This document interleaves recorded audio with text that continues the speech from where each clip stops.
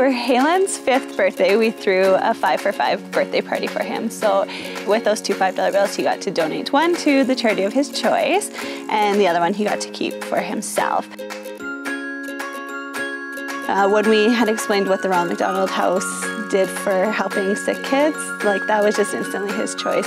I just wanted to help lots of kids. He then uh, came to me again and said, I want to sell ice cream. And I said, okay, perfect. It's just a good treat and there's lots of different flavors that you can pick out of. What do you want to do with the money that you make from it? And he said, I want to donate it all to the Ronald McDonald House. So that just melted my heart.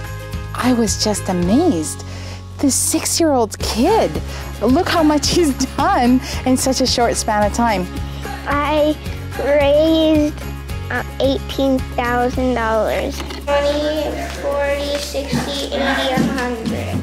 It's a lot of money for someone, even an adult, to raise a total of $18,000 in two and a half years.